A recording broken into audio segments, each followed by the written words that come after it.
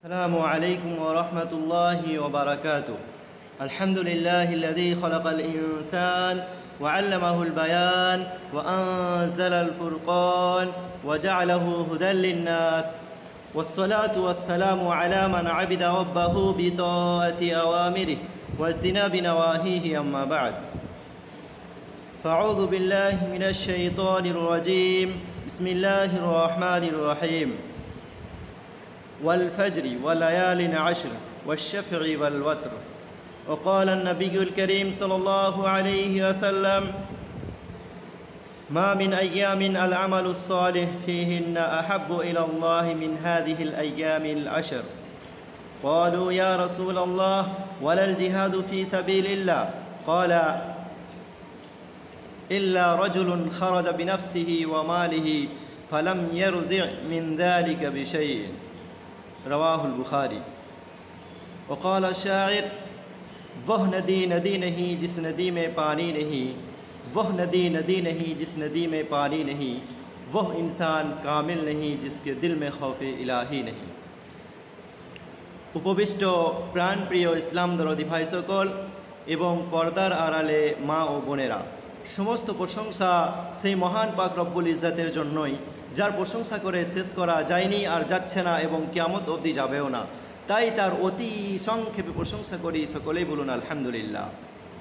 তারপর আমাদের আকাই নামদার তাজদারি মাদানি, মা আমিনার লাল, মরুর দুলাল, যিনি সারা বিশ্ববাসীর জন্য রহমত স্বরূপ এসেছিলেন, তাই তার ওপর বৃষ্টির মতো ঝরঝরিত রহমত বর্ষণ হোক। সকলেই বলুন আল্লাহ আমিন আল্লাহ সাল্লি আলাই ওবারিক আলাই আজকে আমি আপনাদের সম্মুখে যে বিষয়টি নিয়ে আলোচনা করব সেটি হচ্ছে জুলহাজ মাসের প্রথম দশকের ফজিলত তথা গুরুত্ব ও আমল সম্য এ বিষয়ে আমি বিস্তারিত দলিল প্রমাণ ও রেফারেন্স সহকারে আলোচনা করার চেষ্টা করব ওমা উরিদ ইল্লাল ইসলাহ ওমা তৌফিকি ইল্লা বিল্লাহ رب اشرح لي صدري ويسر لي أمري واحلل عقدة من لساني يفقه قولي প্রিয় শ্রোতামণ্ডলী এই জুলহজ মাসের প্রথম দশ দিনের ফজিলত অনেক বেশি রয়েছে আল কোরআন এবং সেই সুন্না থেকে প্রমাণিত। কিন্তু আমাদের সমাজে তা কেউই জানে না বা উলামাগণ, এখানকার আলেমেরা যা কোরআন এবং হাদিসে স্পষ্ট বর্ণনা রয়েছে সেই সম্বন্ধে আলোচনা করেন না।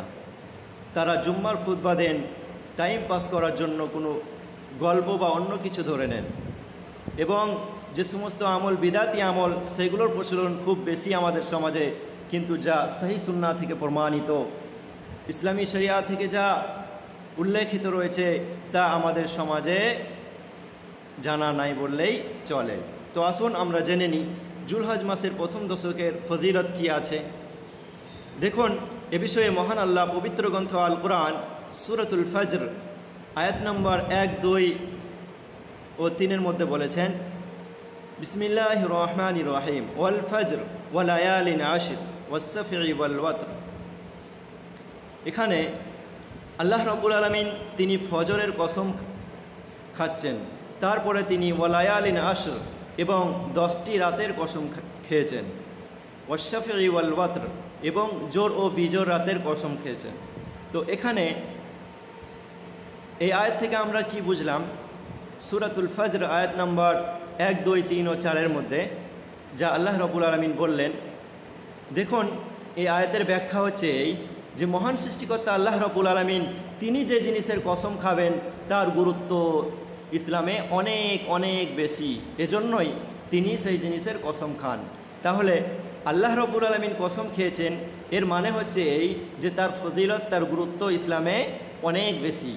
তো এই দশটি রাতের গুরুত্ব অনেক বেশি। দশটি রাত বলতে জিলহাজ মাসের প্রথম দশকের এই দশটি রাত। বুঝলেন? শেখুল ইসলাম ইবনে তাইমিয়া রহমাউল্লাহকে প্রশ্ন করা হয়েছিল যে, রমজানের দশটি রাত সব থেকে গুরুত্বপূর্ণ নাকি এই জুলহাজ মাসের এই প্রথম দশকের দশটি রাত সব থেকে গুরুত্বপূর্ণ। তখন শেখুল ইসলাম ইবনে তাইমিয়া রহমাউল্লাহ উত্তরে বলেছিলেন, দেখুন শেখুল ইসলাম ইবনে তাইমিয়া, যিনি ইসলাম সম্বন্ধে গভীর জ্ঞান ছিলেন, তো সেই শেখুল ইসলাম ইবনে তাইমিয়া রহমাউল্লাহ তিনি বলছেন যে, রমজান মাসের প্রথম দশকের রাত্রি, রাত্রির দিক দিয়ে সব থেকে ফজিলত বেশি হচ্ছে রমজান মাসের প্রথম দশকের ওই দশটি রাত। কেন? এই জন্য যে তাতে কি রয়েছে? লাইলাতুল কদর। এবং লাইলাতুল কদর সম্বন্ধে মহান আল্লাহ পবিত্র গ্রন্থ আল কোরআন, সুরাতুল কদর, আয়াত নম্বর দুয়ে বলেছেন, ইন্না আনজালনাহু ফি লাইলাতিল কদর লাইলাতুল কদর। লাইলাতুল আয়াত নম্বর তিনে আল্লাহ রবুল আলমিন বলেছেন, তিন নম্বর আয়াতে, যে লাইলাতুল কদর খৈরুম মিন আলফি শাহর এই লাইলাতুল কদরের রাত্রিতে সবে কদরের রাত্রিতে যদি কেউ আমল করে, তাহলে তা হাজার মাসের চেয়েও উত্তম। বুঝলেন? তো হাজার মাসের চেয়ে উত্তম।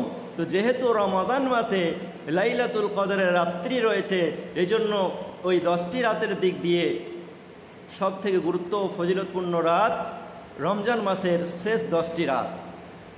এবং দিনের দিক দিয়ে শেখুল ইসলাম ইবনে তাইমিয়া রহমাউল্লাহ তিনি বলছেন যে দিনের আমলের দিক দিয়ে সর্বশ্রেষ্ঠ আমল হচ্ছে এই জুলহাজ মাসের প্রথম দশকের এই দশটি দিন।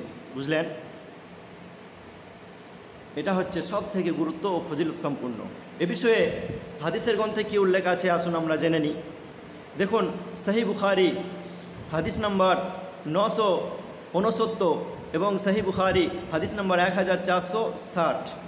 বিশ্বনবী মোহাম্মদ রসুল্লাহ সাল আলী হাসালাম বলেছেন মামিন আয়ামিন আল আমালুসলেহ ফিহিন্না ইল্লাহ মিন আশর। বিশ্বনবী সাল আলী হাসালাম বলেছেন যে, এই জুলহজ মাসের প্রথম দশটি দিনের আমল অন্যান্য দিনের চাইতে সব থেকে বেশি গুরুত্বপূর্ণ ও ফজিলতপূর্ণ।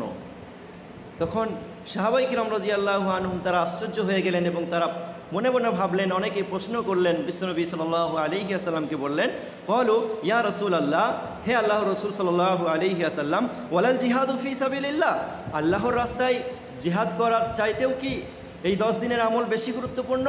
তখন বিশ্বনবী সাল আলী আসালাম তিনি উত্তরে বললেন, ওয়ালাল জিহাদুফি সাবিল্লাহ এমনকি আল্লাহর রাস্তায় জিহাদ করা এর চেয়ে, এর চাইতেও বেশি গুরুত্বপূর্ণ, ফজিলতপূর্ণ দিন হচ্ছে এই জুলহাজ মাসের প্রথম দশটি দিন।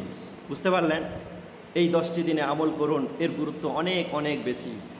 বিশ্বনবী মোহাম্মদ রসুল্লাহ সাল আলী হাসলাম তারপরে বললেন, ইল্লা রজুলুন খরজ বিনফসিহি ওয়ামালিহি ফালাম ইয়ারুজে মিন্দালিকা বিষয়ইন কিন্তু ওই মানুষ ব্যক্তিকে যিনি আল্লাহর রাস্তায় নিজের জান এবং মালকে নিয়ে জিহাদ করতে বেরিয়ে গেলেন, কিন্তু তিনি উভয়টি নিয়ে ফিরে এলেন না।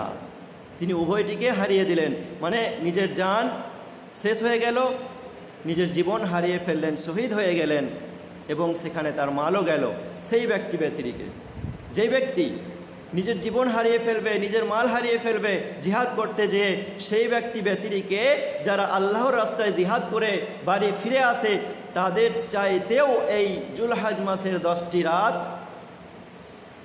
এই জুলহাজ মাসের প্রথম দশটি দিন আমলের দিক দিয়ে সব থেকে গুরুত্ব ও শ্রেষ্ঠ, মহান আল্লাহর নিকট। বুঝতে পারলেন?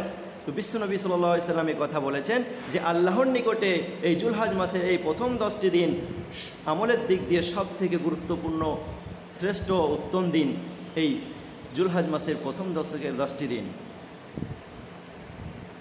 তাহলে আমরা কি করব? বেশি বেশি এই দশটি দিন কি করব? সৎ আমল করব।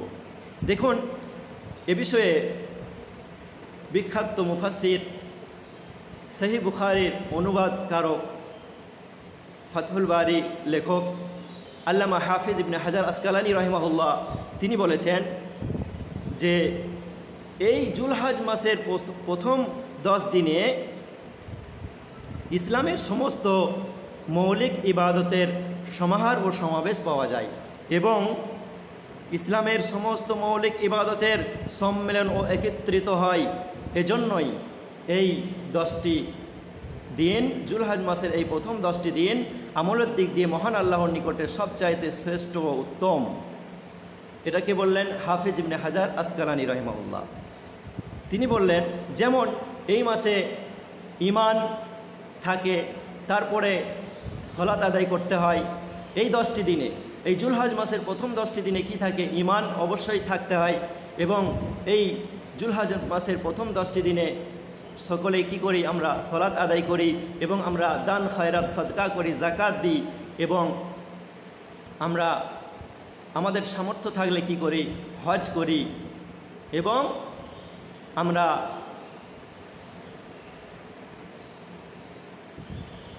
এই হজ তো এই মাসেই সম্ভব। এই দশটি দিনের মধ্যেই সম্ভব। ওই জুলহাজ মাসের দশ তারিখে অন্যান্য মাসে হজ করা সম্ভব নয়। বুঝতে পারলেন? এবং আরাফার দিনের রোজা, এই মাসে রোজা রাখার বিষয়টিও রয়েছে এই দশটি দিনের মধ্যে। এজন্য এই দশটি দিন আমলের দিক দিয়ে মহান আল্লাহর নিকটে সবচাইতে শ্রেষ্ঠ ও উত্তম। আসুন, এই জুলহাজ মাসের প্রথম দশকের কি কি আমল আছে? সেই আমল সমূহ সম্বন্ধে আমরা বিস্তারিত দলিল, প্রমাণ ও রেফারেন্স সহকারে জেনে নিই। আমরা হাদিস থেকে বুঝতে পারলাম যে মহান আল্লাহর নিকটে সবচায়ে শ্রেষ্ঠ, সবচাইতে উত্তম আমল হচ্ছে এই জুলহজ মাসের প্রথম এই দশটি দিন নেক আমল বেশি বেশি করা, আমলে সালেহ করা।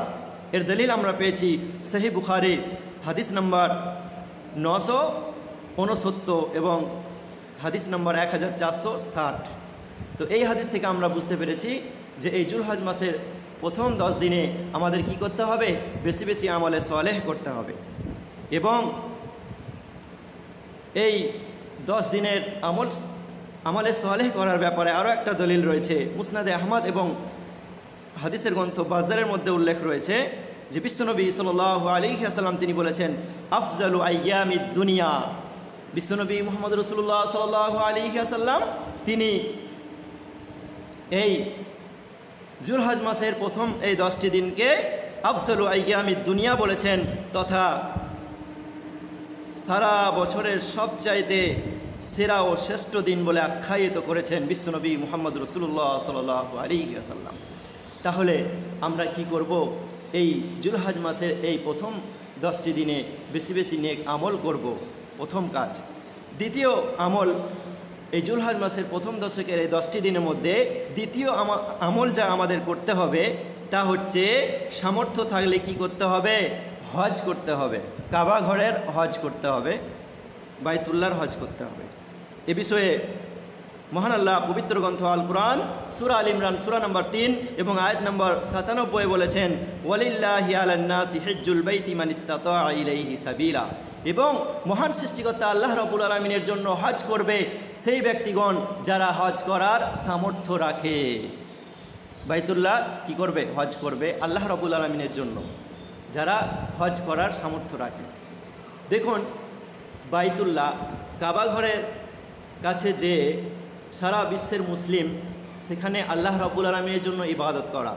এই বিষয়ে অমুসলিমদের মধ্যে অনেকেই প্রশ্ন করেছেন যে, আমরা মাটির মূর্তির পূজা করি এবং মুসলিমরা কাবা ঘরের মাটির পূজা করে, কেননা কাবা ঘর সর্বপ্রথম মাটি ছিল, তাহলে তাদের এবং আমাদের মধ্যে কোনো পার্থক্য নেই। কিন্তু এটা তাদের ভুল ধারণা। তাদের এই ভুল ধারণা দূর করার জন্য আমাদের কাছে উত্তর রয়েছে।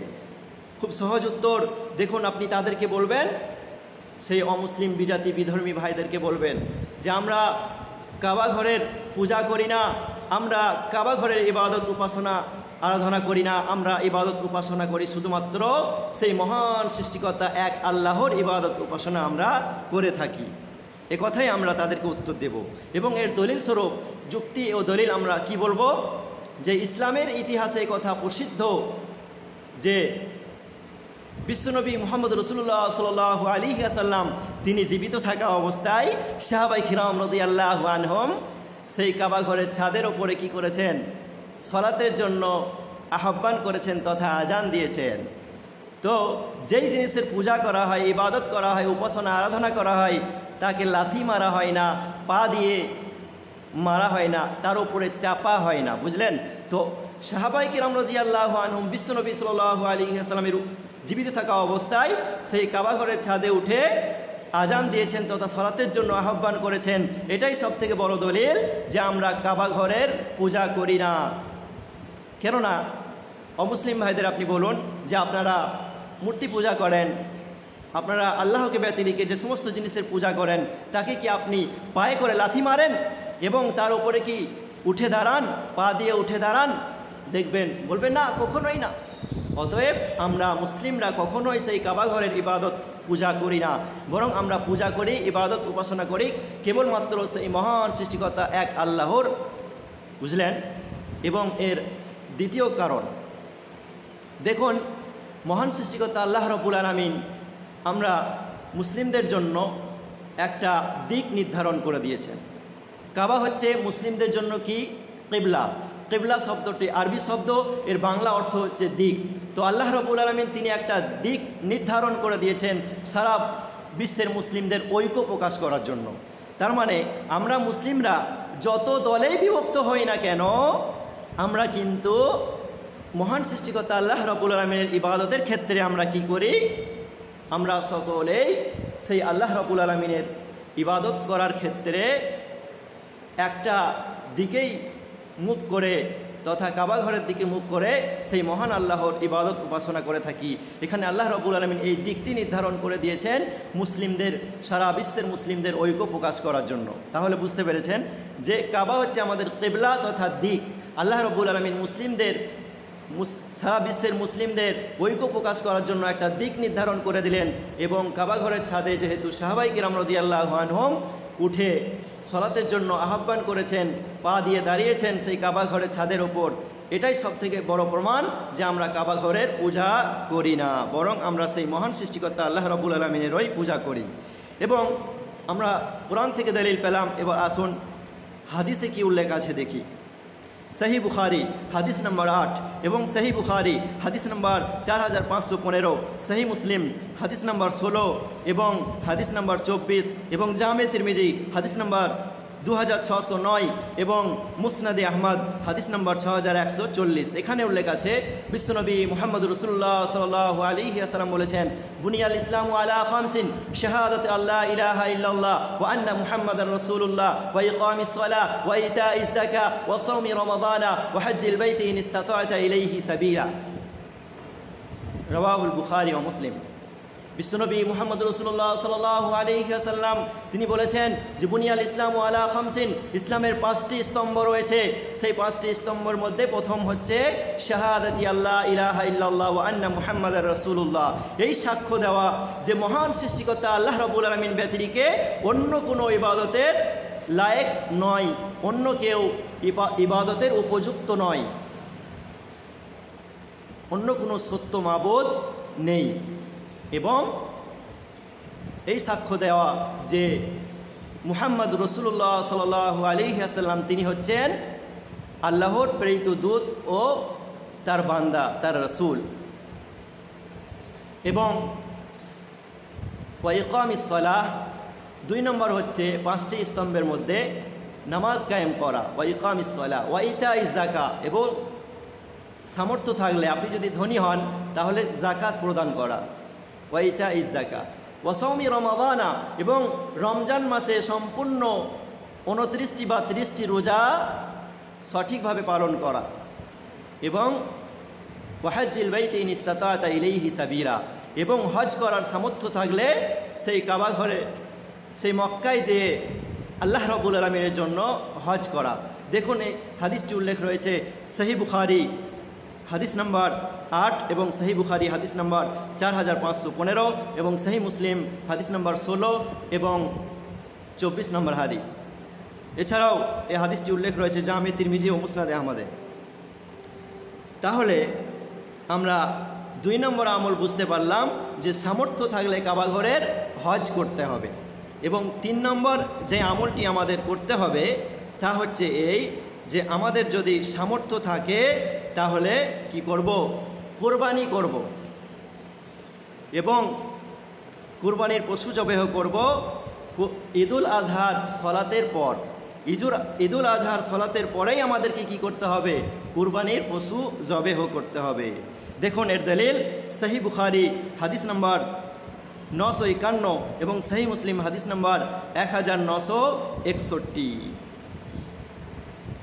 দেখুন, এই যে কুরবানির পশু জবেহ করা অনেক অমুসলিমরা ইসলাম সম্পর্কে ভুল ধারণা রাখে যে অনেক পশু কি করা হয়, জীবন হত্যা করা হয়, অনেক জীবন নষ্ট করা হয় এই কুরবানির দ্বারা।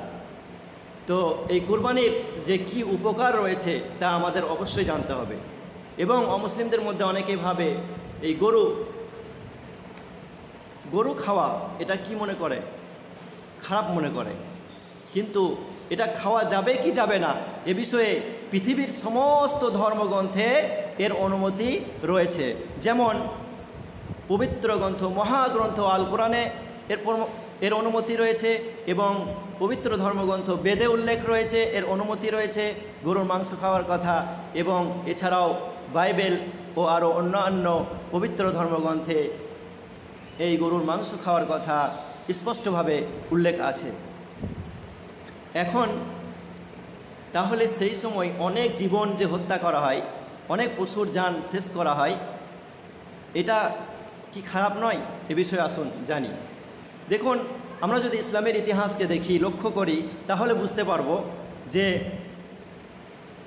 পূর্বের নবী ইব্রাহিম আলহিসাল্লাম তিনি স্বপ্নে দেখেছিলেন যে আমি আমার সন্তানকে ইসমাইল আলহিসাল্লামকে কি করছি? কুরবানি করছি। তো তিনি নবী রসুলগণ যে সমস্ত স্বপ্ন দেখেন তা সত্য হয়।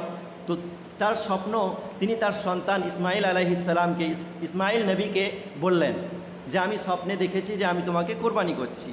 তখন ইসমাইল আলাইহিসাল্লাম তিনিও নবী ছিলেন, তিনি বললেন হ্যাঁ অবশ্যই, নিশ্চয়, যদি আপনি তা স্বপ্নে দেখে থাকেন, তাহলে আপনাকে আপনি আমাকে কোরবানি করুন, আমি তার জন্য প্রস্তুত। তবে হ্যাঁ আপনি চোখে কাপড় বেঁধে নিন, তা না হলে নিজের সন্তান তো ময়া লাগবে।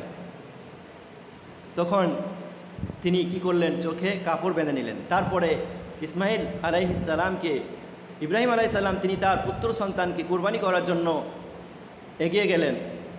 আল্লাহ রবুল আলমিনের হুকুমে ইসমাইল আলাইসাল্লাম কোরবানি না হয়ে তিনি একটা দুম্বা কোরবানি করলেন। তিনি বুঝতে পারলেন না যে আমি আমার সন্তানকে কোরবানি করিনি। একটা দুম্বা কোরবানি করেছি। এই কথা তিনি বুঝতে পারলেন না। কিন্তু মহান সৃষ্টিকর্তা আল্লাহ রবুল আলমিন তিনি ফেরেস্তাদের মাধ্যমে ফেরেস্তাদের সাহায্যে তিনি কি করলেন? একটা দুম্বা কুরবানি করালেন। তো এই ইসলামের ইতিহাস থেকে প্রমাণ হয় কথা যে মানুষ হত্যা করা কি হারাম। ইসলামে মানুষের জীবন শেষ করা যাবে না। কোনো মানুষের অকারণে কোনো মানুষকে হত্যা করে দেওয়া তার জীবনকে শেষ করে দেওয়া, এটা ইসলামের সম্পূর্ণ হারাম। তো এই কোরবানির মাধ্যমে আমরা এ কথা জেনে থাকি যে আমরা পশু জবেহ করব, মানুষ জবেহ করব না। মানুষ জবেহ করা কি? ইসলামে হারাম।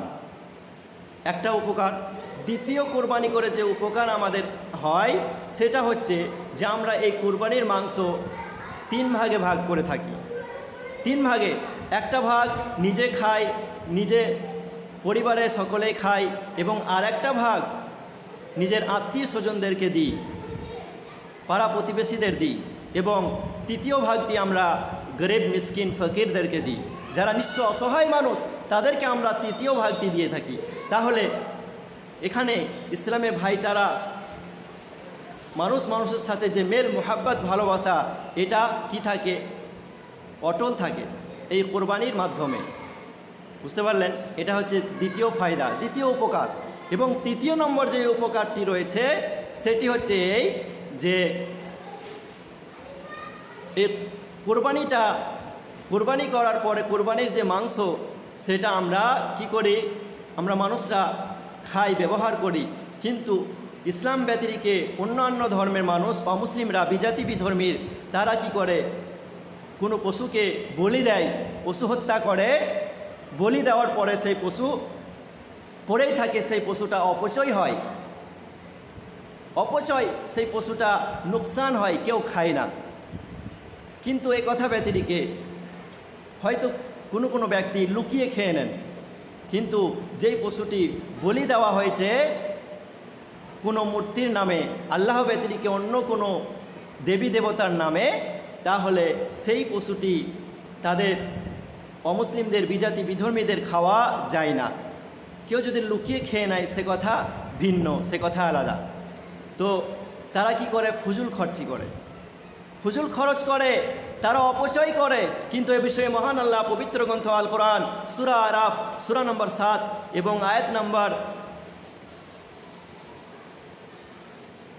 একত্রিশের মধ্যে বলেছেন। সুরা আরাফ সাত নম্বর, সুরা একত্রিশ নম্বর আয়তে যে, কুলো অশরাবু ওয়ালা তুসরিফু ইন্নাহু লা ইউহিব্বুল মুসরিফিন তোমরা খাও এবং পান করো।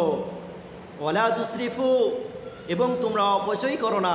ইন্নাহু লা ইউহিব্বুল মুসরিফিন নিশ্চয়ই মহান সৃষ্টিকর্তা আল্লাহ রব্বুল আলামিন তিনি অপচয়কারীদের পছন্দ করেন না। তাহলে আমরা এই আয়াত থেকে স্পষ্টভাবে বুঝতে পারলাম যে, যারা অপচয় করে সেই অপচয়কারীদেরকে মহান সৃষ্টিকর্তা আল্লাহ রবুল আলমিন যিনি আমাদের সৃষ্টি করেছেন, তিনি সেই অপচয়কারীদের পছন্দ করেন না। বুঝতে পারলেন? তো অপচয় করা পাপ এবং অপচয়কারীদেরকে আমাদের মহান সৃষ্টিকর্তা পছন্দ করেন না একথা আমরা পবিত্র গ্রন্থ, মহাগ্রন্থ আল কোরআনের সুরা আরাফ, সুরা নম্বর সাত এবং আয়াত নম্বর একত্রিশ থেকে স্পষ্টভাবে জানতে পারলাম। এবং এ বিষয়ে আরও উল্লেখ রয়েছে পবিত্র গ্রন্থ আল কোরআন সুরাতুল ইসরা বা সুরাবান ইসরায়েল এই সুরাটির দুটি নাম রয়েছে, সুরা নম্বর সতেরো এবং আয়াত নম্বর সাতাশে যে, ইন্নাল মুবাদ্দিরিনা কানু ইখওয়ান শয়াতিন। নিশ্চয়ই অপচয়কারীরা হচ্ছে শয়তানের ভাই। তাহলে কি বুঝতে পারলাম? যে, আল্লাহ রবুল আলমী তিনি আমাদের রুজি দিয়েছেন আমাদের খাদ্য দিয়েছেন, আমরা সেই রুজি থেকে, সেই খাদ্য থেকে আমরা খাব এবং কি করব? পান করব, কিন্তু তা আমরা অপচয় করব না, নষ্ট করব না। কেননা তিনি আমাদের পছন্দ করেন না এবং সেক্ষেত্রে আমরা শয়তানের ভাই হয়ে যাব। তাই আমাদের উপকার এটা একটা যে আমরা সেই সময় সেই কুরবানির পশুর মাংস, ছাগলের মাংস এবং গরুর মাংস আমরা খেয়ে থাকি, আমরা অপচয় করি না। বুঝতে পারলেন? তো কোরবানি করার উপকার আমরা বুঝতে পারলাম। এরপরে এই জুলহাজ মাসের প্রথম দশটি দিনে বেশি বেশি যে আমল করতে হবে, চার নম্বরে সেটি হচ্ছে বেশি বেশি তাকবীর, তাহলিল ও তাহমিদ পাঠ করা। দেখুন, এ বিষয়ে হাদিসের গ্রন্থ মুসনাদে আহমদ, হাদিস নাম্বার এক হাজার একশো চুয়ান্ন নম্বর হাদিস এবং এই হাদিসটি তবরানি এবং মৌজামুল কাবিরেও উল্লেখ রয়েছে যে এই দশকে এই জুলহাজ মাসের প্রথম দশটি দিনে আমাদের বেশি বেশি তাকবীর পাঠ করতে হবে, বেশি বেশি তাহমিদ পাঠ করতে হবে, বেশি বেশি তাহলিল পাঠ করতে হবে। সেই দোয়াটি হচ্ছে এই যে আল্লাহ আকবর আল্লাহ আকবর, লা ইলাহা ইল্লাল্লাহু, আল্লাহু আকবর আল্লাহু আকবর, ওয়ালিল্লাহিল হামদ। আমরা এই তাকবীর, এই জুলহাজ মাসের প্রথম দশকের এই দশটি দিনে বেশি বেশি পাঠ করব কি? আল্লাহ আকবর আল্লাহ আকবর ইল্লাল্লাহু, আল্লাহু আকবর, আল্লাহ আকবর, ওয়ালিল্লাহিল হামদ। এ বিষয়ে সাহাবাই কিরাম রদি আল্লাহ আনহুমগণের আমল রয়েছে যে সেই সাহাবাই কিরাম রদি আল্লাহ আনহম তারা কি করতেন? তারা বাজারে যেতেন এবং রাস্তাঘাটে ইত্যাদি স্থানে তারা এই তকবীর, এই তাহলিল এবং এই তাহমিদ উচ্চ স্বরে পাঠ করতেন। তো আমাদের উচিত কি করা? এই তকবীর বাজারে, ঘাটে, রাস্তায়, সর্বস্থানে কি করা? বেশি বেশি তাকবীর পাঠ করা, বেশি বেশি তাহমিদ ও তাহলিল পাঠ করা। এবং এ বিষয়ে মুসনাদে আহমদের আরেকটি হাদিস রয়েছে, সেখানে বিশ্বনবী মুহাম্মদ রসুল্লাহ সাল আলী আসাল্লাম বলেছেন মুসনাদে আহমদের অন্য হাদিসে যে আহাবুল কালাম ইলাল্লাহি আল আরবা আল্লাহর নিকটে সবচেয়ে উত্তম কালাম হচ্ছে, উত্তম কথা হচ্ছে চারটি। আর সেই চারটির মধ্যে একটা হচ্ছে সুবহান আল্লাহ আলহামদুলিল্লাহ এবং লা ইলাহা ইল্লাল্লাহ এবং আল্লাহ আকবার। সেটি কি? সুবহান আল্লাহি আলহামদুলিল্লাহি ওয়ালা ইলাহা ইল্লাল্লাহ, আল্লাহ আকবার। দেখুন এই হাদিসটি মুসনাদে আহমদে উল্লেখ রয়েছে। অতএব আমরা জুলহাজ মাসের প্রথম দশকের এই দশটি দিনে আমরা বেশি বেশি তাকবীর, তাহমেদ, তাহলেল এবং তসবিহ পাঠ করব, যা আমরা এই হাদিসগুলি থেকে স্পষ্টভাবে বুঝতে পারলাম। এবং পাঁচ নম্বর আমরা যেই কাজটি এই প্রথম দশকে করব জিলহাজ মাসের, সেটি হচ্ছে এই যে বেশি বেশি মহান সৃষ্টিকর্তা আল্লাহ রবুল আলমিনের জিকির করা এবং সেই মহান সৃষ্টিকর্তা আল্লাহ রবুল আলমিনকে স্মরণ করা। এ বিষয়ে মহান আল্লাহ পবিত্র গ্রন্থ আল কোরআন সুরতুল হাদিদ আয়াত নম্বর চারে বলেছেন ওহু আমাকুম আইনামা কুন্তুম? সেই মহান সৃষ্টিকর্তা আল্লাহ রবুল আলমিন, তিনি তোমাদের সাথে আছেন, তোমরা পৃথিবীর যেই প্রান্তেই থাকো না কেন? তো আমরা এই আয়াত থেকে বুঝতে পারলাম যে আল্লাহ রবুল আলমিন তিনি আমাদের সাথে আছেন। আমরা পৃথিবীর যেই স্থানেই থাকি না কেন? দেখুন, সুরা রহমান থেকে সুস্পষ্টভাবে প্রমাণিত যে মহান সৃষ্টিকর্তা আল্লাহ রবুল আলমিন, তিনি সাত আসমানের আরসের ওপর সমাসীন আছেন। কিন্তু এই আয়তে কি বলা হচ্ছে যে পৃথিবীর যেই প্রান্তেই মানুষরা থাকে, সেই প্রান্তেই মহান সৃষ্টিকর্তা আল্লাহ রবুল আলমিন থাকে। তো এর ব্যাখ্যা হচ্ছে এই যে উদাহরণস্বরূপ আপনারা উদাহরণ দিলে খুব সহজেই বুঝতে পারবেন। আপনারা জ্ঞানী মানুষ। দেখুন, আমরা পৃথিবীতে চাঁদ দেখে থাকি, চন্দ্র। তো সেই চাঁদ দেখার সময় আমরা পৃথিবীতে যখন পথ চলাচল করি, রাস্তায় হাঁটাহাঁটি করি, তখন মনে হয় যে সেই চাঁদটি আমাদের সাথে যাচ্ছে। আপনি অন্য গ্রামের, অন্য জেলার, অন্য দেশের আপনার কোনো বন্ধুকে ফোন করে জিজ্ঞেস করুন এবং চাঁদ দেখতে বলুন, দেখুন, সেও বলবে যে হ্যাঁ চাঁদটি আমার সাথে মনে হচ্ছে হাঁটছে এবং আপনাকেও মনে হবে যে, চাঁদটি আপনার সাথে যাচ্ছে। তাহলে বলুন, একটাই তো চাঁদ, কয়জনের সাথে যাচ্ছে? না, চাঁদ সেই আসমানের ওপরে এক স্থানেই আছে, কিন্তু মনে হয় যে, চাঁদটি আমাদের সাথে যাচ্ছে। অনুরূপ মহান সৃষ্টিকর্তা আল্লাহ রবুল আলমিন, তিনি সাত আসমানের আরসের ওপর সমাসীন আছেন। কিন্তু তার নূর, তার জ্যোতি এবং তার এলেম তার জ্ঞান আমাদের সকলের মধ্যে ছড়িয়ে আছে, তার দৃষ্টি আমাদের সকলের মধ্যে আছে। তো আমাদের এই বিশ্বাস স্থাপন রাখতে হবে, আমাদের সকলকেই এই ভাবতে হবে যে আমরা পৃথিবীতে যেই প্রান্তেই থাকি, যাই করি না কেন, আল্লাহ রবুল আলমিন আমাদের সকলকেই দৃষ্টি দিয়ে আছেন, তিনি কঠোরভাবে আমাদের দেখছেন এবং তিনি আমাদের সবই কিছু শুনতে পাচ্ছেন। বুঝতে পারলেন? তো বেশি বেশি আল্লাহর জিকির করা, মহান সৃষ্টিকর্তা আল্লাহ রবুল আলমিনকে স্মরণ করা। তো ওই সমস্ত দোয়া ও জিকির পাঠ করা যে সমস্ত দোয়া আল কোরআন এবং সাহি সুন্না থেকে প্রমাণিত, এই সমস্ত দোয়া এই জুলহাজ মাসের এই প্রথম দশটিতে কি, দশটি দিনে কি করা? বেশি বেশি এই সমস্ত দোয়া, জিকির, পাঠ করা। এবং এই জুলহাজ মাসের প্রথম দশকে এই দশটি দিনে আমাদের সব থেকে বেশি যে আমলগুলি করতে হবে, তা হচ্ছে চুল, নখ ও দাড়ি কর্তন করা হতে বিরত থাকা।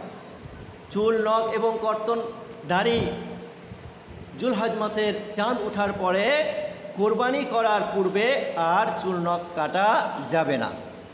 এ বিষয়ে সেহী মুসলিমের হাদিস আছে যে বিশ্বনবী মোহাম্মদ রসুল্লাহ সাল আলী আসালাম বলেছেন সেই মুসলিম হাদিস নম্বর এক হাজার নশো সাতাত্তর এবং সেই মুসলিম হাদিস নম্বর চার হাজার নশো উনষাট, এবং সেই মুসলিম হাদিস নম্বর পাঁচ হাজার এগারো নম্বর হাদিস যে, মান আরদা আহাদুকুম আইদাহিয়া তোমাদের মধ্যে যারা কোরবানি করতে ইচ্ছা করে ফালায়ামাসা মিন আজফারিহি ওয়াশারিহি সে যেন নিজের নখ এবং চুল ও দাড়ি না কাটে। চুল নখ কর্তন না করে। চুল নখ কর্তন করা হতে বিরত থাকে। তো জুলহাজ মাসের চাঁদ উঠে যাওয়ার পরে কোরবানি পশু জবেহ করার পূর্বে আমাদের চুল, নখ এবং দাড়ি কি করা যাবে না? কাটা যাবে না।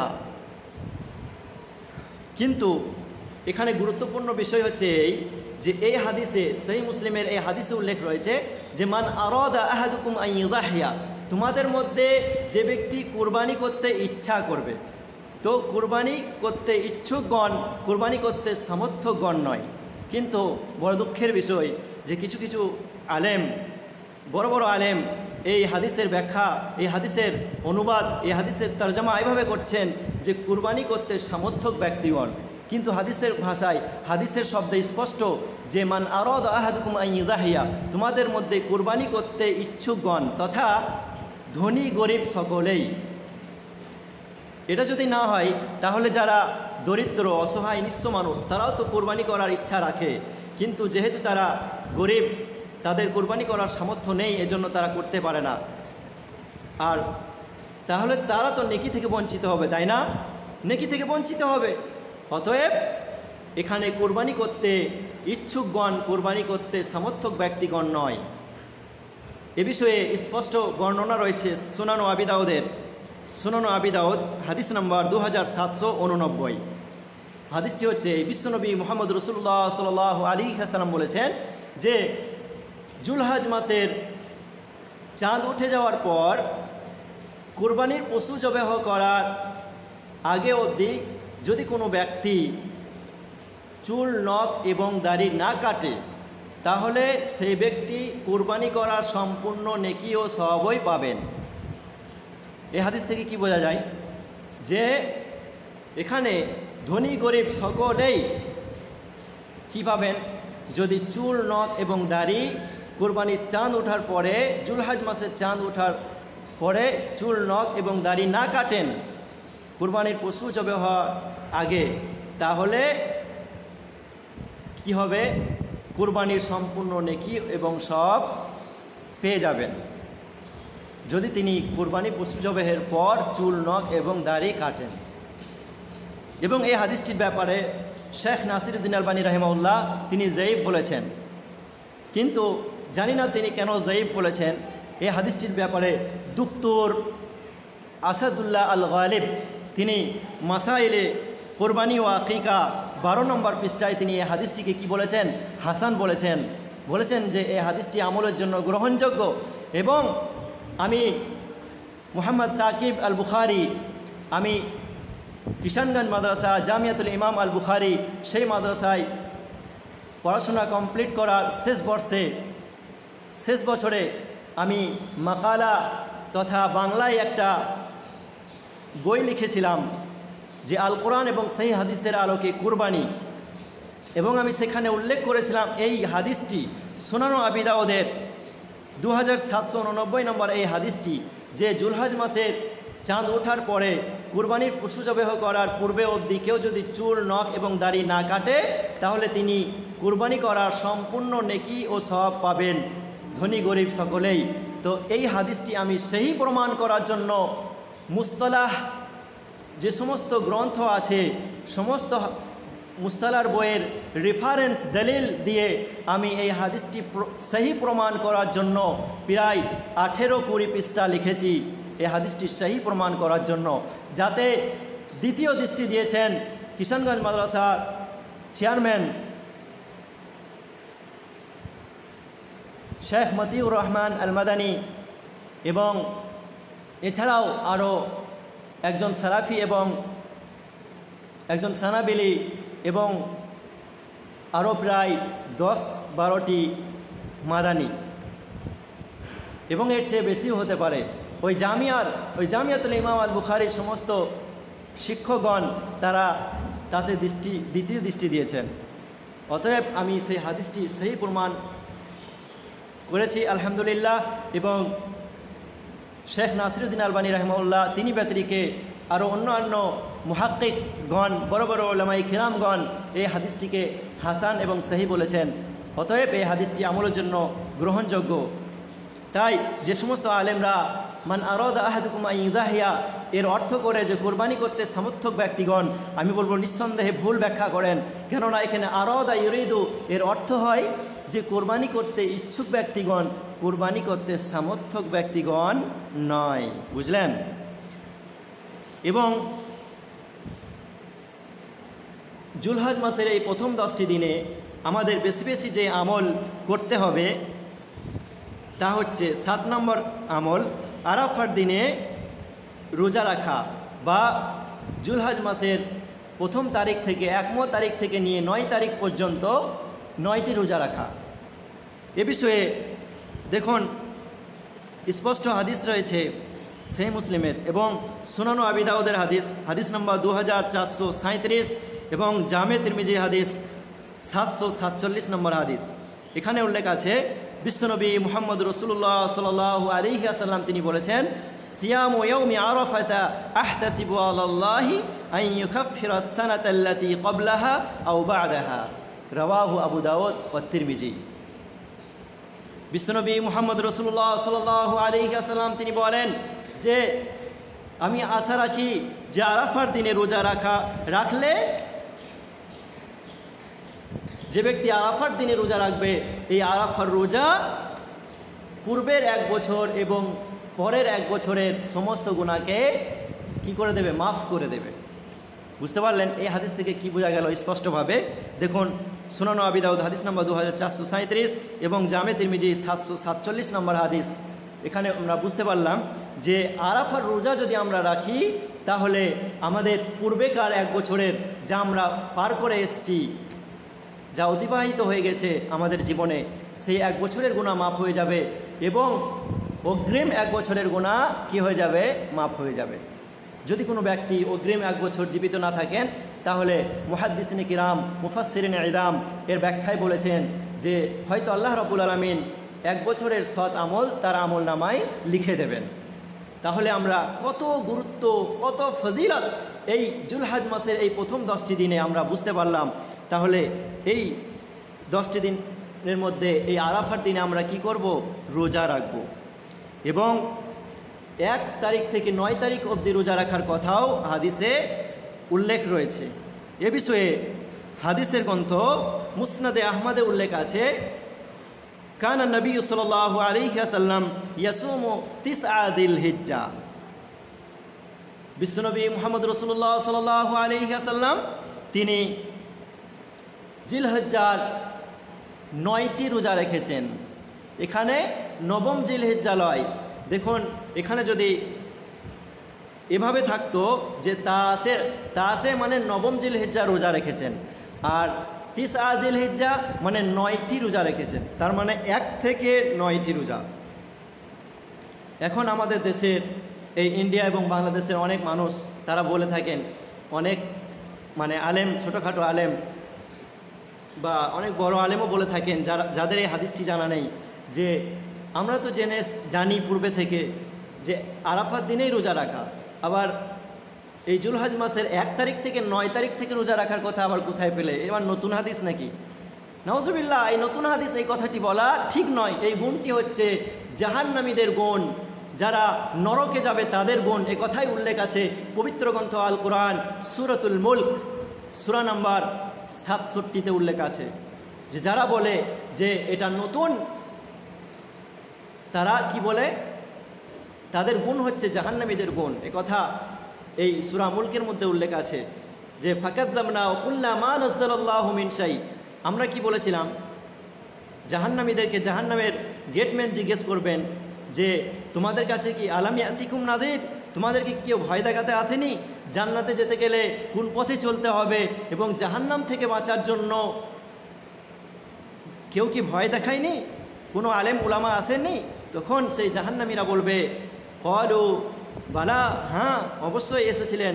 কিন্তু ফাকাত না আমরা মিথ্যা মনে করেছিলাম এবং আমরা বলেছিলাম ফাকাত দাবনা ওকুল্লা মা নজর আল্লাহ মিনসাই আল্লাহ রাবুল আলমিন এ ধরনের কোনো জিনিসই অবতীর্ণ করেননি। এগুলো নতুন কোনো জিনিসই আল্লাহ অবতীর্ণ করেননি। আল্লাহর এই ধরনের কোনো বিধান নেই মানে এগুলো নতুন।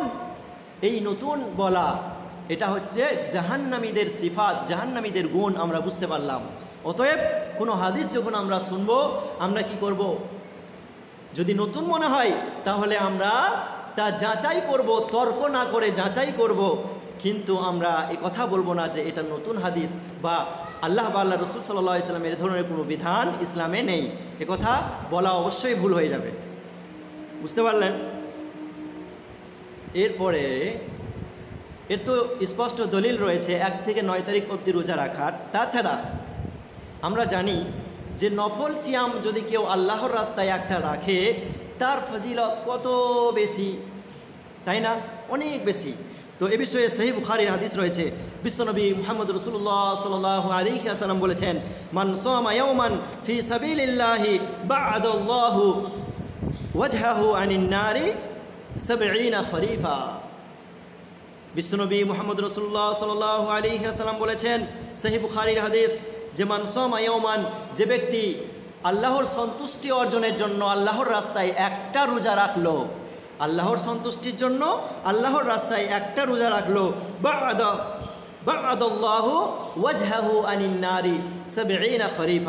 আল্লাহ রবুল আলমিন তার মুখমণ্ডলকে জাহান্নাম থেকে সত্তর বছর পথ দূরত্ব করে দেবেন, সত্তর বছর পথ সরিয়ে দেবেন তার মুখমণ্ডলকে। তার মানে সে ব্যক্তি জাহান নামে যাবে না, সত্তর বছর তাকে দূরে সরিয়ে দেবে জাহান্নাম থেকে। যদি কোনো ব্যক্তি মহান সৃষ্টিকর্তা আল্লাহ রবুল আলমিনের সন্তুষ্টি অর্জনের জন্য, তার খুশি অর্জনের জন্য সে আল্লাহর রাস্তায় একটা নফল সিয়াম পালন করেন, নফল রোজা রাখেন। তাহলে আমরা তো সেই বুখারের পূর্বের হাদিস থেকে জানতে পেরেছি যে এই দশটি দিনে বেশি বেশি আমালে সলেহ করতে হবে এবং আমালে সলেহের মধ্যে এটাও একটা পড়ে যে রোজা রাখা, সিয়াম পালন করা। তো যেহেতু নফল সিয়ামের ফজিলত অনেক বেশি, সেক্ষেত্রেও আমরা এই দশটি দিনে মধ্যে এই এক থেকে নয় তারিখ অবধি রোজা রাখতে পারি। কিন্তু কোরবানির দিনে রোজা রাখা কি? হারাম। এজন্য দশটি দিনেই রোজা রাখা সঠিক হবে না, ভুল হবে। এই এক থেকে নয় তারিখ অবধি রোজা রাখা সঠিক হবে এবং সেই কোরবানির দিনে রোজা রাখা নিষিদ্ধ, স্পষ্টভাবে ইসলামে জায়েজ নয়। এরপরে আমরা এই জুলহাজ মাসের প্রথম দশকে আট নম্বর যে কাজটি আমরা করব, তা হচ্ছে ঈদুল আজহার সলাতে যাওয়া আসায় কি করা? রাস্তা পরিবর্তন করা, পথ পরিবর্তন করা। দেখুন হাদিসের গ্রন্থ সাহি বুখারি নশো ছিয়াশি নম্বর হাদিস। তো সাহি বুখারি নশো ছিয়াশি নম্বর হাদিসে উল্লেখ আছে যে বিশ্বনবী মোহাম্মদ রসুল্লাহ সাল আলী আসাল্লাম তিনি ঈদুল আজহার সলাতের জন্য বা ঈদুল ফিতরের সলাতের জন্য যখন তিনি যেতেন, তখন তিনি এক এক রাস্তায় যেতেন, এক পথে যেতেন এবং অন্য পথে বাড়ি ফিরে আসতেন। তার মানে এই ঈদের সলাতের জন্য যাওয়া আসায় রাস্তা পরিবর্তন করা, এটা হচ্ছে সুস্পষ্ট সুন্নাত এবং নেকি ও সবাবের কাজ। বুঝলেন? আমরা যদি বিশ্বনবী সাল্লাহ আলী আসলামের এই আমলটি আমরা নিজের জীবনে বাস্তবায়ন করি, তাহলে ইনশাআল্লাহ অবশ্যই আমরা অনেক নেকি ও সবের অধিকারী হব ইনশাআল্লাহ। এটা সেই বুখারির হাদিস। কোনো গল্প, কেসা, কাহানি আমি আপনাদেরকে বলিনি। আমি ওই সমস্ত কথা বলছি যা স্পষ্টভাবে আল কোরআন এবং সেই সুন্না থেকে প্রমাণিত আছে, যা ইসলামী শরিয়া থেকে প্রমাণিত আছে। কিন্তু আপনি এই ইউটিউবে অনেক বক্তা কথা শুনবেন, তারা এই আল কোরআন এবং সেই সুন্নাই কোরআনে যে সমস্ত কথা উল্লেখ রয়েছে, হাদিসে যে সমস্ত কথা, সমস্ত হাদিসে রয়েছে, সে সমস্ত কথাকে ছেড়ে দিয়ে তারা বেশি বেশি এই গল্প বা অন্য অন্য কাহানি, কেসা কাহানি বলেই নিজের টাইম পাস করে দেন, নিজের জুম্মার খুদবা বা জালসা সময় পার করে দেন। শুধু সময়ই পার করে দেন। কিন্তু মানুষ যে উপকার হবে, কোরআন এবং হাদিসের কিছু কথা জানবে সেই কোরআন হাদিস থেকে নির্ভেজাল কথা, বেশি বেশি কোরআনের কথা, বেশি বেশি হাদিসের কথা মানুষকে জানিয়ে ইসলামের দিকে আনবে, সঠিক পথে সঠিক ইসলামকে মানুষ জানবে। এই ধরনের চিন্তা বিবেচনা সে সমস্ত আলেমদের নেই। তাই আমাদের আলেম, সমস্ত আলেম সমাজের, সমস্ত ওলামাই কিরামগণের উচিত যে বেশি বেশি বক্তব্যের সময় বেশি বেশি কোরআনের আয়াত এবং হাদিস পেশ করা এবং মানুষকে বোঝানোর জন্য অবশ্যই দলিল, মানুষকে বোঝানোর জন্য যুক্তি ও কোনো উদাহরণ দেওয়া যেতে পারে। কিন্তু বেশি বেশি আমাদের বলতে হবে কোরআনের আয়াত এবং হাদিস, নুসুস সেরে নুসুস আমাদের বেশি বেশি বর্ণনা করতে হবে, বুঝলেন? সেরে দলিল, প্রমাণ। তাহলে এতে কি হবে? সাধারণ মানুষের যাচাই করতে সুবিধা হবে। যখন কোনো মানুষ একটা আলেমের কাছে আর একটা কথা শুনলো, অন্য আলেমের কাছে অন্য কথা শুনলো, তখন সেই সাধারণ মানুষ, সেই জেনারেল শিক্ষিত মানুষের যাচাই করতে সুবিধে হবে। তখন তারা আর তর্ক করবে না। সঠিক জিনিসটি ইসলাম, সঠিক ইসলামকে জেনে তা, তারা খুব সহজেই নিজের জীবনে বাস্তবায়ন করে চলবে। বুঝলেন? এবং এই বিষয়ে আরও একটা কথা যে আট নম্বর, এই জুলহাজ মাসের প্রথম দশটি দিনে বেশি বেশি যে আমল আমরা করব, তা হচ্ছে এই সম্মানিত মাস হিসেবে পাপাচার এবং গালিগালাজ এবং মারপিট করা হতে দূরে থাকা। এই জুলহাজ মাসের প্রথম দশটি দিনে পাপাচার করা, বেশি বেশি গুনাহ পাপ থেকে বেঁচে থাকা এবং মারপিট করা হতে বেঁচে থাকা এবং গালিগালাজ করা থেকে দূরে থাকা। দেখুন, মহান আল্লাহ পবিত্র গ্রন্থ আল কোরআন সুরা তৌবা সুরা নম্বর নয় এবং আয়াত নম্বর ছত্রিশে বলেছেন ইন আইদাত শুহুর ইন্দাল্লাহ হিসনা আশারা শাহরান ফি কিতাবিল্লাহ। আল্লাহ রবুল আলমিন বলেছেন যে আল্লাহর নিকটে কি আছে? আল্লাহর নিকটে বারোটি মাস আছে। ইন্না শুহুর ইন্দাল্লাহি আশারা শাহরান ফি কিতাবিল্লাহ আল্লাহর কিতাবে এই মাসের গণনা হচ্ছে বারোটি এবং এই বারোটির মধ্যে মিনহা আর বায়াতুন হুরম, চারটি মাস রয়েছে সম্মানী মাস এবং এ বিষয়ে সহি বুখারির হাদিস রয়েছে যে সালাসুম, বিশ্বনবী সাল আলী হাসালাম বলেছেন, সালাসুম মোতাওয়ালিয়াতুন, যে তিনটি মাস পরস্পর লাগাতার রয়েছে, তা হচ্ছে যে জুলহেজ্জা জিলকাদা, জিলহেজ্জা, মুহাররাম এবং রজাব। এবং আরেকটি মাস হচ্ছে কি? রজাব। এই চারটি মাস হচ্ছে সম্মানিত মাস।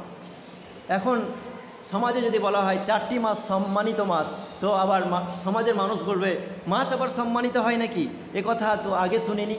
আশ্চর্য হয়ে যাবে। কিন্তু এই সঠিক তথ্যগুলো আলেম ওলামারা সমাজে মানুষের সামনে তুলে ধরে না। এটাই দুঃখের বিষয়। তো আমরা এই কোরআনের আয়াত থেকে জানতে পারলাম সুরাত বা নয় নম্বর সুরা চারটি মাস জিল কাদা জিল জিলহেজ্জা এবং মুহাররাম এবং আর একটি হচ্ছে রজাব। তো এই চারটি মাস সম্মানী মাস, তো এই জিলহেজ্জার মাসটি হচ্ছে সম্মানী সম্মানী মাসের মধ্যে একটা মাস। তো এই মাসে পাপাচার করা হতে আমাদের বেশি বেশি গুণা থেকে বাঁচতে হবে এবং গালিগালাজ করা হতে, মারপিট করা হতে বেঁচে থাকতে হবে। কেননা সুরা বাকারা দুই নম্বর সুরা এবং দুশো সতেরো নম্বর আয়তে আল্লাহ রবুল আলমিন বলেছেন ইয়াস আলুনাকা নিশাহরিল হারামি কিতালিন ফি। নবী মোহাম্মদ সাল্লাহ আলহিহাসাল্লাম আপনাকে প্রশ্ন করে, এই সম্মানিত মাসে মারপিট করা, যুদ্ধ করা সম্বন্ধে? তো আপনি বলুন, কুল কিতালুন কবির। এই সম্মানিত মাসগুলিতে যুদ্ধ করা বড় অপরাধ।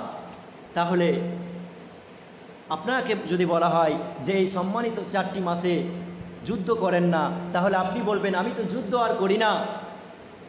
যুদ্ধ আমরা করি না ঠিকই, কিন্তু আমরা মিনি যুদ্ধ সকলেই করি, তাই না? তো এই মিনি যুদ্ধ থেকে আমাদের সকলকে কি করতে হবে? বাঁচতে হবে, বুঝলেন? মিনি যুদ্ধ থেকে সকলকেই বাঁচতে হবে। আমাদের মিনি যুদ্ধ আমরা সকলেই করে থাকি। এই গালি, গালিগালাজ করে থাকি, একে অপরকে গালি দিই। মন্দ কথা বলি, খারাপ কথা বলি এবং আমরা মারপিট করি, এই এই সমস্ত জিনিস থেকে, এই মিনি যুদ্ধ থেকেও বাঁচতে হবে। কেননা স্পষ্ট কোরআনের আয়াত, মহান আল্লাহ সুরা বাকারা দুই নম্বর সুরা, দুশো সতেরো নম্বর আয়াতে স্পষ্টভাবে বলছেন পুল কিথালুন ফিহি কবির এই চারটি সম্মানিত মাসে যুদ্ধ করা হচ্ছে বড় অপরাধ। অতএব মিনি যুদ্ধ করা থেকেও এই চারটি মাসে আমাদের বাঁচতে হবে। এই আটটি জিনিস স্পষ্টভাবে আল কোরআন এবং সেই সুন্না থেকে প্রমাণিত, যা আমাদের বেশি বেশি করতে হবে এই জুলহাজ মাসের প্রথম দশটি দিনে। তো এই জুলহাজ মাসের প্রথম দশকের এই আমল সম্ভু এই আটটি জিনিস, এছাড়াও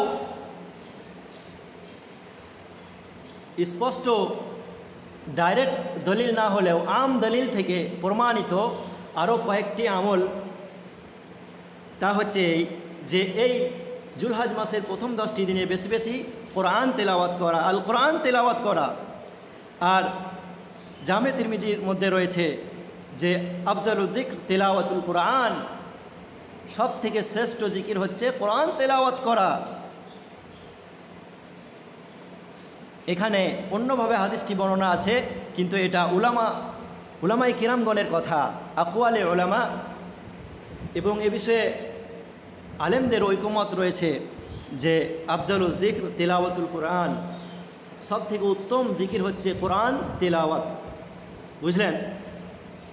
কিন্তু এটা মুতলাকভাবে নয়, এ কথা বলেছেন আল্লামা ইবনে তাইমিয়া রহমাউল্লাহ এবং মহান আল্লাহ পবিত্র গ্রন্থ আল কোরআন, সুরা রাত তেরো নম্বর সুরা আঠাশ নম্বর আয়তে বলেছেন, আলা বিদিক্রিল্লাহি তাতমাইন্নুল কুলুব। শুনে নাও, মহান সৃষ্টিকর্তা আল্লাহ রাবুল আলমিনের জিকিরের মধ্যে রয়েছে, তাতমাইন্নুল কুলুব, অন্তরের শান্তি। নিজের দিলের শান্তি, অন্তরের শান্তি রয়েছে আল্লাহ স্মরণের মধ্যে, আল্লাহর জিকিরের মধ্যে। অতএব এই সম্মানিত মাসগুলিতে, বিশেষ করে এই জুলহাজ মাসের এই প্রথম দশকের এই দশটি দিনে বেশি বেশি কি করা? আল্লাহর জিকির করা, আল্লাহকে স্মরণ করা, বেশি বেশি কোরআন তেলাওয়াত করা। এই কোরআন বেশি বেশি তেলাওয়াত করতে হবে কেননা বিশ্বনবী সাল্লাহ আলী আসালাম বলেছেন সেই মুসলিমের হাদিস, ইকরাউল কোরআন, ফাইন্নাহু ইয়াতি ইয়াউমাল কিয়ামা শাফিআ লি আসহাবি। রাওয়াহু মুসলিম। তোমরা কোরআন তেলাওয়াত করো, ফাইন্নাহু ইয়াতি ইয়াউমাল কিয়ামা, কেননা নিশ্চয়ই এই কোরআন কালে কিয়ামতের দিবসে সেই কোরআন তেলাওয়াতকারীর জন্য, কোরআন পাঠকারীর জন্য সুপারিশ হিসেবে আসবে। এই কোরআন যদি কেউ পড়েন, কোরআন যদি তেলাওয়াত করেন, তাহলে কাল কিয়ামতের দিবসে এই কোরআন আপনার জন্য সাক্ষ্য দেবে। কোরআন বলবে যে আল্লাহ, এই মানুষটি, এই আপনার এই বান্দা, আপনার অমুক বান্দা আমাকে পড়েছে, একে জাহান্নাম থেকে রক্ষা করুন। কোরআন সাক্ষ্য দেবে। বুঝলেন? সেই মুসলিমের হাদিস। এবং এই কোরআন তিলাওয়াত করার মধ্যে রয়েছে অনেক নেকি ও স্বভাব জামে তিরমিজির হাদিস বিশ্বনবী সাল্লাল্লাহু আলাইহি ওয়াসাল্লাম বলেছেন, লা আকুলু আলিফ লাম মিম হারফুন, বাল আলিফুন হারফুন ওয়া লামুন হারফুন ওয়া মিমুন হারফুন। আমি বলছি না যে আলিফ, লাম, মিম একটা অক্ষর, বরং আলিফ একটা হরফ, আলিফ একটা অক্ষর, লাম একটা অক্ষর এবং মিম একটা অক্ষর। এভাবে তিন দশে তিরিশটি নেকি, এক কোরআনের একটা নেকি, একটা অক্ষরে দশটা করে নেকি ও সওয়াব পাওয়া যায়। এবং আলিফ লাম মিম যদি কেউ পড়েন, তাহলে তিরিশটি নাকি আলহামদু, পাঁচটি অক্ষর রয়েছে, পাঁচটি হুরুপ রয়েছে, পঞ্চাশটি নাকি এরপরে লিল্লাহি রব্বিল আলমিন পড়ে আছে, সুরা ফাতিহা সম্পূর্ণ পড়ে আছে, বুঝুন? যদি সুরা ফাতিহা সম্পূর্ণ পড়েন, তাহলে কত নেকি ও সবাবের অধিকারী হবেন। অতএব কোরআন যদি আপনি তেলাওয়াত করেন, কোরআন পাঠ করেন, তাহলে কোরআনের একটা অক্ষরে যদি দশটা করে নেকি ও সওয়াব পান? তাহলে কোরআনের একটা সুরা, একটা আয়াত পড়লে আপনি কত বেশি নেকি ও সওয়াবের অধিকারী হবেন, বুঝতে পেরেছেন? ফার্সি কবি বলেছেন, কতরা কতরা দরিয়া বাসুদ, ফোটা ফোটা পানিতে দরিয়া তৈরি হয়। ফোটা ছোট্ট ছোট্ট কাঁকরে পাহাড় তৈরি হয়। আপনি কোরআন তেলাওয়াত করুন, দেখবেন আপনার নেকি ও সবের পাহাড় তৈরি হয়েছে, দরিয়া তৈরি হয়েছে, ফলে আপনি খুব সহজেই জাহান্নাম থেকে পরিত্রাণ পাবেন এবং খুব সহজেই জান্নাতে প্রবেশ করতে পারবেন। ইহকালেও পরকালেও উপকৃত হতে পারবেন, খুব সহজেই। অতএব এই জুলহাজ মাসের প্রথম দশটি দিনে কি করুন? আল কোরআন তেলাওয়াত করুন। এবং এই জুলহাজ মাসের প্রথম দশটি দিনে আমাদের বেশি বেশি যে কাজ করতে হবে সেই বুখারির যে হাদিস থেকে আমরা বুঝতে পেরেছি যে এই দশটি দিনে কি করতে হবে? আমালে সলে বেশি বেশি করতে হবে। সেই দিককে লক্ষ্য করে বেশি বেশি কোরআন তেলাওয়াত করা। নয় নম্বর এবং দশ নম্বর হচ্ছে যে বেশি বেশি তোবা ও ইস্তেকফার করা। বেশি বেশি তোবা ইস্তেকফার করা কেননা হাদিসের মধ্যে এসছে যে বিশ্বনবী মোহাম্মদ রসুল্লাহ সাল আলী আসাল্লাম খ্যানায়াত আন্না নবী সাল্লাহ আলহিহাসাল্লাম কানা ইয়াতুব ফিল ইয়াউমি আক্তার আমি সেবেইন আমাররা আল্লাহ রসুল সাল্লাহ আলহিহাসাল্লাম তিনি দিনে সত্তর বারের চেয়েও বেশি তৌবা ইস্তিকফার করতেন। এবং সিলসিলাতুল আহাদিস আর সাহিহা হাদিসের গ্রন্থের মধ্যে উল্লেখ রয়েছে যে বিশ্বনবী মোহাম্মদ রসুল্লাহ সাল আলী আসালাম বলেছেন, অন্য হাদিসের মধ্যে সিলসিলাতুল হাদিস আর সাহিয়ার মধ্যে হাদিসটি উল্লেখ রয়েছে। রসুল্লাহ সাল আলী আসালাম বলেছেন, ইয়া ইউহান্নাস হে মানব সকল তুবু ইল্লাহ তোমরা আল্লাহর নিকটে বেশি বেশি তোবা ইস্তেগফার করো। ফাইন্নি আতু ফিল ইয়াউমি মিয়া মাররা কেননা আমি আল্লাহর নিকটে দিনে একশতবার তোবা ইস্তেগফার করি। তাহলে এক হাদিসে রয়েছে সেই হাদিসের মধ্যে যে সত্তর বারের চেয়েও বেশি তোবা ইস্তেগফার করতেন এবং সিলসিলাতুল আহাদিস আর সাহিহার গ্রন্থে, হাদিসের গ্রন্থে এই হাদিস থেকে আমরা বুঝতে পারলাম যে বিশ্বনবী সাল আলী হাসালাম তিনি দিনে একশতবার তোবা ইস্তেগফার করতেন। তাহলে আমাদের সকলের উচিত কি করা? একশতবারের চেয়েও বেশি তোবা ইস্তেগফার করা। বলুন, যে নবী মোহাম্মদ রসুল্লাহ সাল আলী আসাল্লাম তার পূর্বের পরের সমস্ত গুণাকে মাফ করে দেওয়া হয়েছে, তিনি জান্নাতে যাবে নয়? বরং তিনি মহান আল্লাহর অনুমতিতে সমস্ত মানুষকে, যারাই কালেমায় তাওহিদ পাঠ করেছেন, কালেমায় তাইয়েবা লা যারাই পাঠ করেছেন, মন থেকে এবং তা বিশ্বাস করেছেন, পাপ করে থাকলেও আল্লাহ রসুল সাল্লাহ আলী আসাল্লাম তাদের জান্নাতে যাওয়ার জন্য, তাদের জন্য কি করবেন? সুপারিশ করবেন। কার অনুমতিতে? মহান আল্লাহর অনুমতিতে। আল্লাহর অনুমতি ছাড়া কিন্তু সম্ভব নয়। তো আল্লাহর অনুমতিতে বিশ্বনবী সাল আলী হাসাল্লাম সুপারিশ করবেন জান্নাতে যাওয়ার। তো যেই নবী সাল আলী হাসাল্লাম তিনি নবী রসুলগণের সর্দার, যিনি সারা বিশ্বের নবী, বিশ্বনবী মোহাম্মদ রসুল্লাহ সাল্লা সাল্লাম তিনি যদি দিনে একশতবার তৌবা ইস্তিগফার করেন, তাহলে একটু চিন্তা করুন, ভাবুন যে আমাদের কত বেশি তৌবা এবং ইস্তিগফার করা উচিত দরকার। একটা উদাহরণ, আপনারা জ্ঞানী মানুষ, উদাহরণ দিলে বুঝতে পারবেন। শরীরে পরিহিত পোশাক, পরিহিত কাপড় আমরা শরীরে পরে থাকি, এই কাপড় যখন নোংরা হয়ে যায়, অপরিষ্কার হয়ে যায়, তখন আমরা তা সাফ করতে, পরিষ্কার করতে আমরা বিরক্ত বোধ হয় না, বিরক্ত হয় না। কিন্তু আমরা জানি যে মানুষ ভুলের ঊর্ধ্বে নয়, ভুলের বাইরে নয়। যা স্পষ্টভাবে সেই হাদিস থেকে প্রমাণিত সেই সুন্না থেকে প্রমাণিত। বিশ্বনবী সাল আলী আসালাম বলেছেন, কুল্লু বানি আদমা খত্তাউন ও খৈরুল খত্তা ইনা তাওয়াবুন সমস্ত আদম সন্তান, সমস্ত মানুষের ভুল হবেই হবে এবং সেই ভুলকারীদের মধ্যে সর্বোত্তম ও সর্বশ্রেষ্ঠ ব্যক্তি সেই যিনি আল্লাহর কাছে নিজেকে স্যালেন্ডার করে, আল্লাহর কাছে নিজের ভুলের প্রাশ্চিত করে, আল্লাহর কাছে ক্ষমা চাই, মাফ চাই তো বা ইস্তেকফার করে, সেই ব্যক্তি আল্লাহর নিকট সর্বোত্তম ও শ্রেষ্ঠ। তাহলে বুঝতে পারলেন কোনো এই হাদিস থেকে কোনো মানুষই ভুলের ঊর্ধ্বে নয়, ভুলের বাইরে নয়। তো ভুল আপনার আমার সারা দিনে কত হচ্ছে? কিন্তু এই ভুলগুলি যদি জমা থেকে যায়, কত ভুল জমা থাকবে বুঝতে পারছেন? ওই যে পূর্বে বলেছিলাম, ফার্সি কবি কি বলেছেন? কতরা কতরা দরিয়া বাসুদ, ফুটা ফুটা পানিতে দরিয়া তৈরি হয়, ছোট্ট ছোট্ট কাঁকড়ে কি হয়? পাহাড় তৈরি হয়। তো আপনার এই ছোট ছোট গুণা হতে হতে, ছোট ছোট পাপ হতে হতে পাপের গুনাহের পাহাড় তৈরি হবে, ফলে জাহান্নামে যেতে হবে। অতএব আমাদের এই ভুলের জন্য বেশি বেশি আল্লাহর কাছে তো বা ইস্তেকফার করতে হবে। যে আমাদের বিশ্বনবী সাল আলী আসাল্লাম তিনি জান্নাতে যাবেন, অথচ তিনি তার পূর্বের পরের সমস্ত গুণা মাফ করে দেওয়া হয়েছে। তারপরও তিনি দিনে একশতবারের একশতবার তোবা ইস্তেকফার করেন এবং এগারো বারো নম্বরে আমরা যেই কাজটি বেশি বেশি করব, এই জুলহাজ মাসের প্রথম দশটি দিনে, তা হচ্ছে এই যে বেশি বেশি দান, খয়রাত ও সদকা করা। সহি বুখারির হাদিস, সহি বুখারি হাদিস নাম্বার এক হাজার চারশো তেরো নম্বর হাদিস।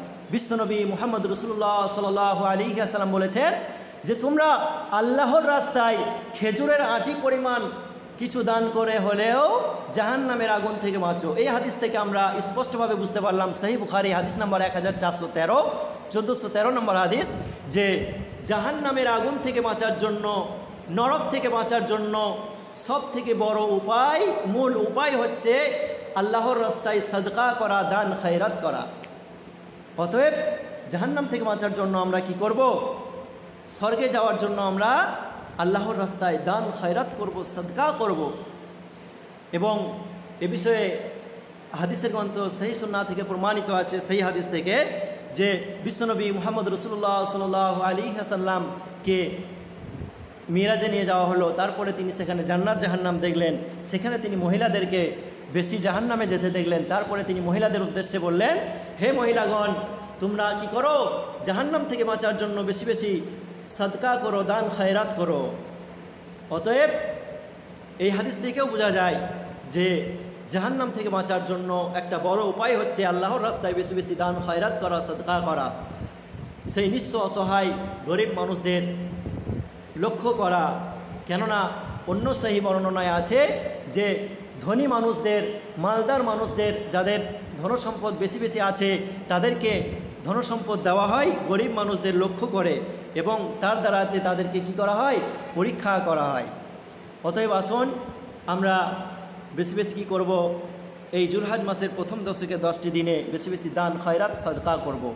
আল্লাহ রবুল আলমিন আমাদের সকলকেই এই জুলহাজ মাসের প্রথম দশটি দিনে যে আমল সমূহ রয়েছে যা আমি আল কোরআন এবং সেই সুন্না থেকে দলিল দিয়ে বর্ণনা করলাম, তা আরেকবার আমি গণনা করে দিচ্ছি। এই জুলহাজ মাসের প্রথম দশকের আমল সমূহ হচ্ছে এই। জুলহাজ মাসের প্রথম দশটি দিনের আমল হচ্ছে এই। এক নম্বর আমল, যে বেশি বেশি আমলে সলেহ করা এবং সামর্থ্য থাকলে হজ করা এবং কোরবানি করার সামর্থ্য থাকলে কুরবানির পশু, ঈদুল আজহার সলাতের পরে জবেহ করা এবং বেশি বেশি তাকবীর, তাহলিল ও তাহমিদ পাঠ করা এবং পাঁচ নম্বর হচ্ছে আল্লাহর বেশি বেশি জিকির করা ও স্মরণ করা মহান সৃষ্টিকর্তা আল্লাহ রবুল আলমিনকে এবং সেই আল্লাহকে স্মরণ করার্থে ছয় নম্বর আমল হচ্ছে যে বেশি বেশি কোরআন তেলাওয়াত করা এবং সাত নম্বর আমল হচ্ছে যে এই জুলহজ মাসের চাঁদ ওঠার পরে চুল, নখ ও কর্তন করা হতে বিরত থাকা চুল, নখ ও দাড়ি না কাটা কুরবানির পশু জবেহের পূর্বে অবধি।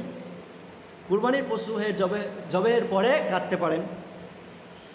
এবং সাত, আট নম্বর যে কাজটি হচ্ছে, তা হচ্ছে এই যে আরাফার দিনে রোজা রাখা কিংবা একমো তারিখ থেকে নিয়ে নয় তারিখ অবধি, এক থেকে নয় তারিখ অবধি নয়টি রোজা সিয়াম পালন করা। এবং নয় নম্বর যে কাজটি হচ্ছে, তা হচ্ছে ঈদুল আজহার সলাতের যাওয়া আসাই রাস্তা পরিবর্তন করা, পথ পরিবর্তন করা। এবং দশ নম্বর যে কাজটি হচ্ছে, তা হচ্ছে এই যে তোবা ও ইস্তেকফার বেশি বেশি করা এই দশটি দিনে। এবং জুলহাজ মাসের প্রথম দশটি দিনে যে আমল বেশি বেশি করতে হবে, এগারো নম্বর তা হচ্ছে এই যে বেশি বেশি দান, খয়রাত ও সদকা করা। এবং বারো নম্বর হচ্ছে এই যে সম্মানিত মাস হিসেবে এই জুলহাজ মাসে কি করা? পাপাচার ও গালিগালাজ এবং মারপিট করা হতে দূরে থাকা, বেঁচে থাকা।